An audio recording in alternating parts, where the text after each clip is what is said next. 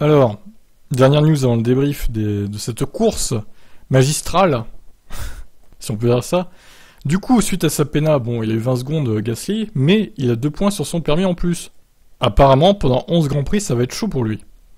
Si la pénalité de temps de 20 secondes ne change rien pour le français, largement hors des points, ce sont bien les points de pénalité sur le permis qui restent de lui coûter très cher, avec un total porté à 9 pour la période de 12 mois. Heureusement pour lui, deux d'entre eux expirent demain, ce qui fait qu'il lui restera 7 points sur 12, à ne pas dépasser sa licence pour éviter une course de suspension. Son total ne pourra plus évoluer à la baisse jusqu'au 22 mai de l'année prochaine, ce qui signifie qu'il sera à 5 points de suspension pour 11 courses au moins, soit les 4 dernières de cette année et les 7 premières de 2023. Alors, bah écoutez, c'est le moment de faire le, point sur les permis, je crois. Hein. Euh, donc, Gassi, bon, 9, mais il va en gagner 2 demain. Donc il sera à 7. Tsunoda est à 8 aussi. Incroyable. Alors Tsunoda, il récupère quand? Oh là, oui, lui, c'est pareil. Hein. Euh, Tsunoda, il est dans la sauce. Hein. Tsunoda prend 2 points pour avoir accroché son équipé devant la course. Ah, l'énorme clown. Énorme, énorme, énorme, énorme. Ouais, donc Tsunoda, je dirais qu'il est encore plus dans la sauce que, que Gasly parce qu'il récupérera 2 points le 3 juillet 2023 en fait. Oh putain, il est qu'à 4 points de suspension de Tsunoda les gars. Il, c'est sûr qu'il va y avoir droit lui. Alors Alonso est à 6, Albon aussi d'ailleurs. Albon il récupérera 2 points le 27 mars 2023. Et Alonso au mois de mai, début mai. Putain, il a pris 3 points de pena euh, sur son permis à Miami Alonso. Eh ben mon vieux.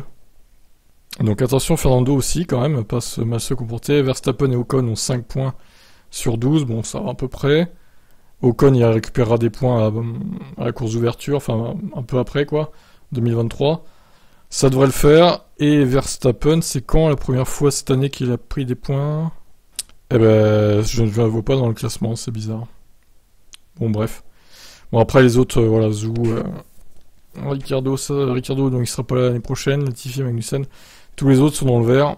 À noter que De Vries, Mick Schumacher, Lewis Hamilton, Nicole Kunberg et Sainz ont pas de points de pénalité sur leur permis. Incroyable. Donc pour résumer, Gasly attention, c'est pas le pire, mais Tsunoda, lui, il est dans la merde. Hein. Franchement, il est dans la merde. Sachant qu'attendez, on va compter. Tsunoda, on a dit qu'il récupérait euh, en 2023 des points. Je revérifie, mais oui, c'est ça. Euh, au mois de juillet. Donc, euh, attendez. Donc 4 courses, il reste en 2022.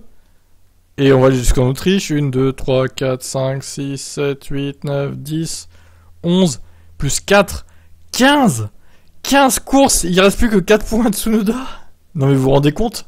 Non mais il va les perdre, c'est sûr. Il va, se prendre un ban. Hein. Je pense qu'il va se prendre un ban d'une course, hein, Tsunoda. Et en même temps, ça serait mérité quelque part parce qu'il fait beaucoup de merde hein, quand même. Ça serait mérité que ce soit lui qui se prenne un ban.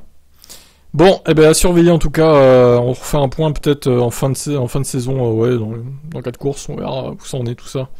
Qu'est-ce que vous en pensez vous?